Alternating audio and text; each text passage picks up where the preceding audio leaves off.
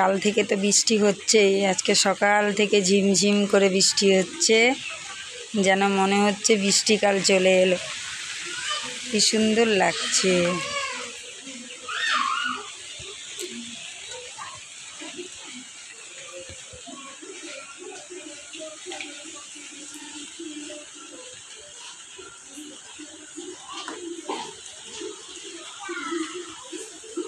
আজকে আমাদের কাছে এটা প্রথমবার ফুল ফুটেছে, করবি।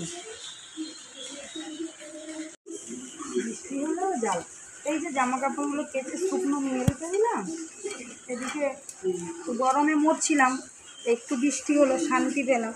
কিন্তু কি এই যে জামা কাপড় শুকছে না, তাতেও আবার জ্বালা। মানুষের কোনোটাই সুখ নেই বলো। বৃষ্টি হলেও জ্বালা, গরম হলেও জ্বালা, মানুষ যে কী চায় সে সেটাই জানে না। রান্না করেছে গো? কি করেছি?